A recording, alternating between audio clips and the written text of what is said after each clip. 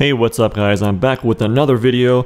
This is kind of an experiment that I wanted to try since I have a lot of leftover scrap wood that I didn't know what to do with. Now I've drawn out several options for a modern style privacy wall that will attach to the backyard deck. After a few revisions of the design, I had more than enough 2x4s to make this work.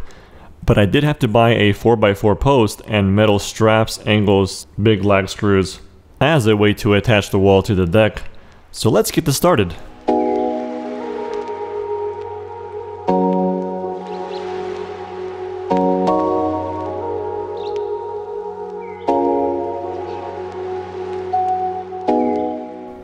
So I started off with building the frame. The dimensions are 12 feet by 6 feet tall. 12 feet is the width of the deck, and one side of the wall will attach to the house directly.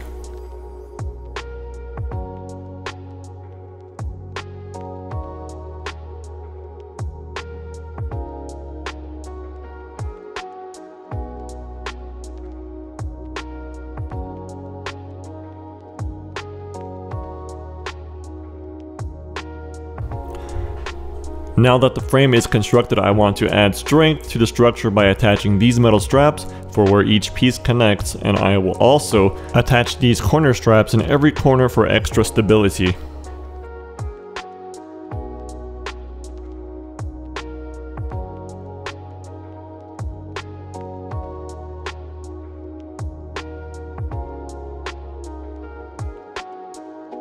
Since this is not finished wood material, I did go down and sand down any rough edges using an electric sander to make things nice and smooth. Now it's time to make the sideboards. What I did was I measured the distance between each post, which was around 3 feet, and I prep cut a lot of 2x4s to match the size. But since 2x4s are too thick, they're actually uh, an inch and a half by three and a half inch, I cut them in half and in half again, which makes one and a half by three quarters inch. And this can be easily done with a table saw. So here's what they look like when they are cut.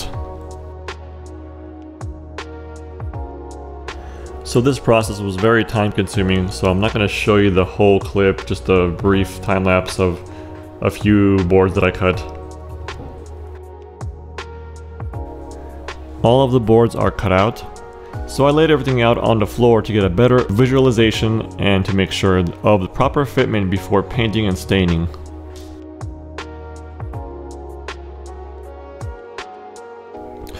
Once we were ready to paint, we decided to go with an espresso black paint for the frame and then a beige crema stain for the sideboards. All you professional painters out there are probably looking at me thinking, what is he doing? Yeah, bear with me, it's my first time painting anything. But it turned out pretty well, actually.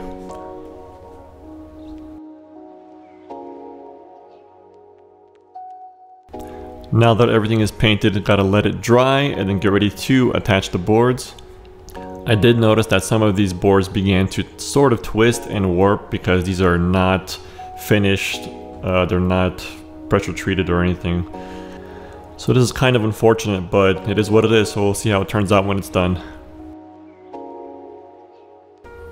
So I ended up using low profile screws to attach the sideboards to the frame itself.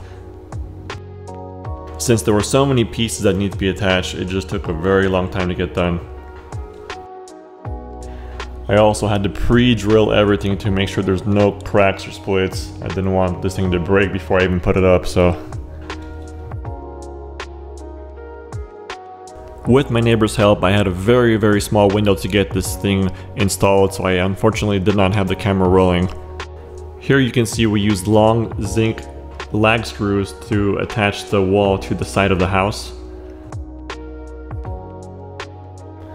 Also use these metal L angles to attach each post to the top of the deck using zinc screws also. Oh, this spot actually broke one of the screws when I over tightened it, so I had to drill a new hole and install a, a new lag screw. But it turned out good. Then there's this metal strap.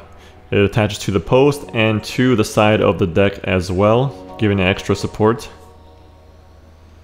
This right here was a last minute decision. We added a 2x6 that attached to the, the 4x4 and attached to the side of the deck and to the wall. By adding this 2x6 it made the wall a lot more solid and very very uh, structurally stronger. It can get very windy in this area where I live. I just want to make sure this wall is as solid as possible with no movement. Also, once I put up my railing, it will attach to the side of the wall, which will give me further strength and support. But I will show that in a different video.